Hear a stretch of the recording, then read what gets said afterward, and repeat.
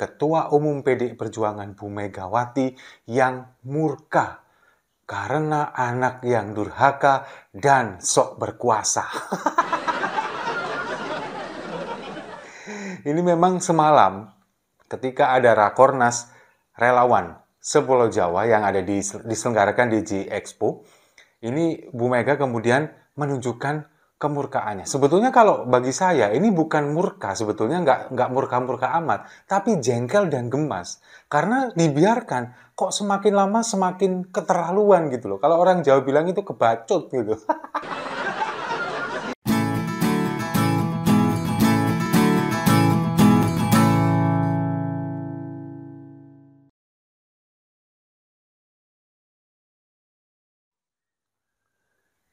Salam damai untuk Indonesia, berjumpa lagi bersama saya, Papa Dimas.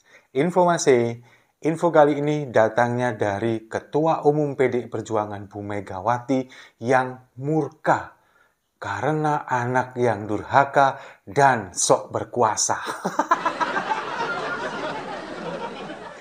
ini memang semalam ketika ada Rakornas relawan sepulau Jawa yang ada di, diselenggarakan di G Expo, ini Bu Mega kemudian menunjukkan kemurkaannya. Sebetulnya kalau bagi saya ini bukan murka, sebetulnya nggak nggak murka-murka amat, tapi jengkel dan gemas karena dibiarkan kok semakin lama semakin keterlaluan gitu loh. Kalau orang Jawa bilang itu kebacut gitu. tapi sebelumnya kita simak dulu videonya berikut ini. Kamu mesti lihat perundangannya. Kamu sebagai apa? Bolehkah kamu menekan rakyatmu? Bolehkah kamu memberikan apa pun juga kepada rakyatmu eh, tanpa melalui perundangan yang ada di Republik Indonesia ini. Betul apa tidak? Betul. Takut apa tidak? Tidak. Takut apa tidak? Tidak. Takut apa tidak? Tidak. Yes, begitu dong. Mestinya ibu nggak boleh ngomong gitu, tapi udah jengkel tau nggak?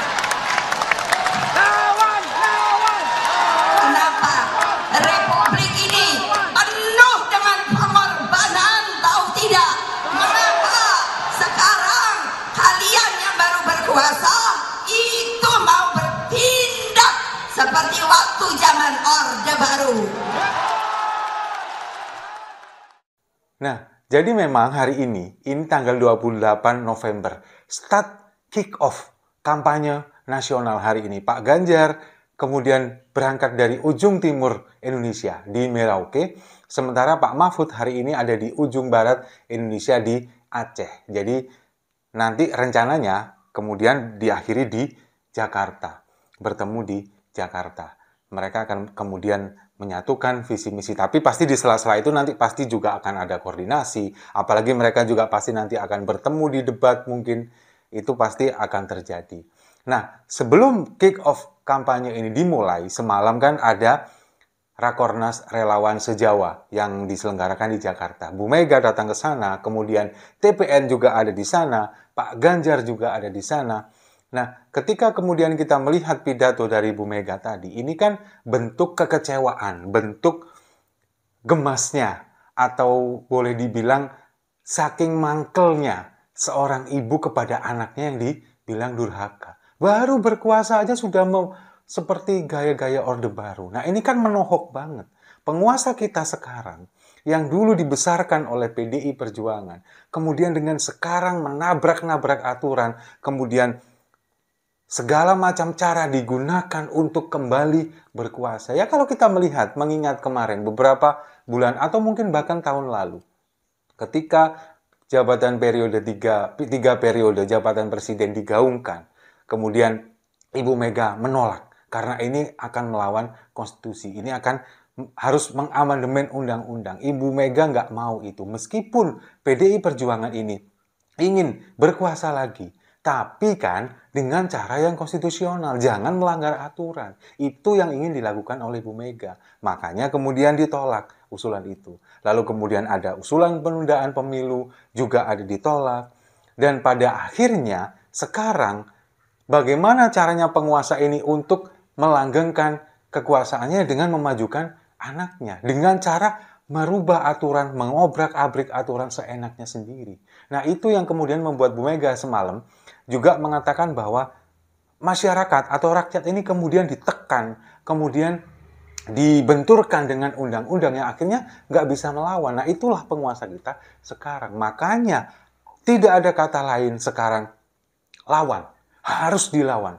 Karena Bu Mega ini sudah melalui proses itu. Pertama sedih ketika ditinggalkan, lalu kemudian juga uh, kemudian merenung, diam dan akhirnya memberontak dan melawan. Caranya apa ya? Caranya dengan mengerahkan segala kemampuan untuk memenangkan pasangan Ganjar Mahfud sekarang. Nah, apalagi kalau misalkan Bu Mega bilang ini bahwa seperti gaya-gaya Orde Baru. Di tahun 90-an, Bu Mega ini kemudian menjadi seorang yang melawan gaya-gaya Orde Baru. Sudah kenyang pengalaman, diintimidasi, kemudian bagaimana kantornya diserang, bahkan anak buahnya ini kemudian banyak yang meninggal dunia karena tekanan tindakan represif dari penguasa pada waktu itu. Nah itu sudah dialami oleh Bu Mega. Dan sekarang ini sepertinya akan terjadi lagi. Makanya tidak ada kata lain, lawan. Lawan dan lawan. Tidak akan pernah takut. Karena apa? Sekali lagi, karena diam bukan pilihan. Makanya kemudian Ibu Mega seperti seolah-olah gregetan begitu, kemudian jengkel, bahkan tadi disampaikan harusnya ibu nggak boleh ngomong ini, tapi kan karena saking jengkelnya, dibiarkan kok makin lama makin ngelunjak. makin nggak karu-karuan, makin nggak tahu malu, kemudian melancarkan aksi dari putranya yang kemudian berdiri atau berjalan di atas pelanggaran etik dan moral. Ini kan seperti seolah nggak punya malu. Itulah yang akan kita lawan. Banyak sekali intimidasi, banyak sekali intervensi dari pihak penguasa. Bahkan Bawaslu pun seperti masuk angin kalau misalkan berhadapan dengan mereka. Tapi kita tidak akan pernah gentar. Mulai saat ini, mulai hari ini, seperti yang disampaikan Pak Ganjar tadi di uh, semalam di Rakornas, yang ada di depan kita akan kita tabrak menghalangi kita akan kita tabrak. Nanti videonya akan saya putarkan di uh, akhir rekaman ini. Nah, itulah yang akhirnya membuat kita tidak ada kata lain. Kita harus melawan, kita harus merubah suasana situasi ini menjadi mengembalikan Indonesia dengan semangat reformasi, mengembalikan Indonesia menjadi pemilu yang demokratis. Itu yang harus kita lakukan. Dan yang harus kita lakukan seperti saya dan juga teman-teman yang ada di Siwo TV ini, apa yang bisa kita lakukan? Yakni bersuara dengan melalui video ini. Kita ingin mengajak semua masyarakat Indonesia untuk tidak diam. Karena diam, sekali lagi, diam bukan pilihan. Kita harus bergerak. Mungkin masyarakat yang ada di bawah bisa melawan dengan cara apa? Kita mensosialisasikan pasangan Ganjar Mahfud yang ada di uh, kanan kiri kita, tetangga kita, saudara kita, itu yang bisa, apa pun yang bisa kita lakukan, lakukan. Kemudian penguasa mengintimidasi seperti yang kemarin pencabutan Bahlio dan lain sebagainya. Banyak sekali warga masyarakat kemudian yang menawarkan halaman rumahnya, menawarkan pagar rumahnya untuk dipasang baliho secara gratis, lalu dipasang stiker di mobil, lalu dengan mobil LED yang berkeliling kota. Itu adalah cara-cara dari masyarakat kita di kalangan bawah. Bahkan dulu sebelum ada intervensi dari pemerintah, sopir truk yang merasa punya hutang jasa kepada Pak Ganjar Pranowo karena sudah menghilangkan pungli di Jawa Tengah. Mereka kemudian secara sukarela memasang foto wajah Pak Ganjar di bak truk mereka. Itu salah satu wujud perlawanan, salah satu wujud dukungan mereka kepada Pak Ganjar Pranowo. Kita tidak boleh kalah dari itu. Kita harus memenangkan pasangan Ganjar Mahfud. Sekarang juga start dimulai hari ini, kampanye dimulai hari ini. Kita tapi tetap tidak boleh kampanye hitam, tidak boleh black campaign dengan menebar hoax, dengan menebar fitnah.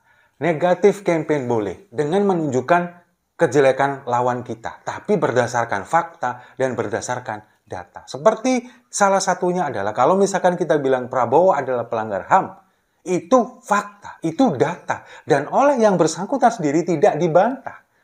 Tapi kemudian pendukungnya ingin seolah-olah menghapus itu semua, memolesnya dengan tampilan gemoy, memolesnya dengan pemilu yang santun, santuy, kemudian riang gembira. Supaya apa? Supaya kita tidak memberikan membuka fakta itu. Tapi pada kenyataannya semuanya tidak akan pernah bisa dihilangkan. Bahwa pemilu ini harus berjalan demokratis, harus berjalan dengan jujur, harus berjalan dengan adil, tanpa ada intervensi, tanpa ada intimidasi dari penguasa. Dan sekali lagi, diam bukan pilihan. Setuju ya? Kalau setuju, mari kita minum kopinya sama-sama untuk Ganjar Mahfud menang satu putaran. Ah, saya rasa itu. Terima kasih sudah menyimak. Jangan lupa like, komen, dan subscribe. Sampai jumpa di video-video saya selanjutnya. Cinta demokrasi, Ganjar Mahfud di hati.